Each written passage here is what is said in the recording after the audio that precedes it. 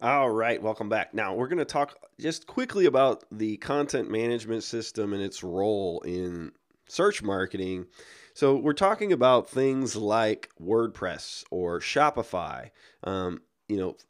the systems that we use to manage content or to manage our shopping cart or our product pages and all these things. We log in, we're able to um, use those programs to manage our content. And what I'll tell you is that a really solid content man- management system like Shopify, like WordPress, I'm not saying that, that these are the only good CMSs, but I am saying that these are two good CMSs.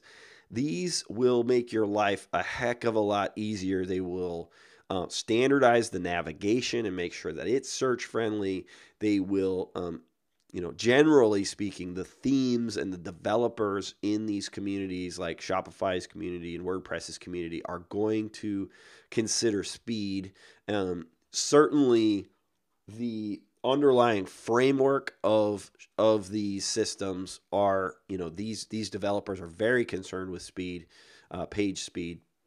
which is something we'll audit later on in this in this module, um, and same with navigation. But um, the underlying foundations of these content management systems consider these things. And then if you buy good themes or skins or templates, whatever you want to call them, that, that are used on these systems,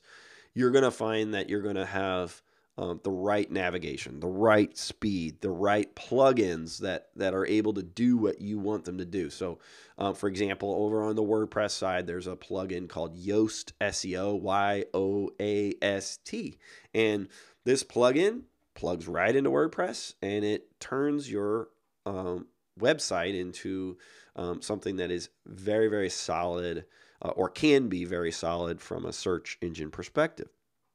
so you know like i said the themes and the skins and the templates that you you know use to to um, create the layout structure design look feel all those things um,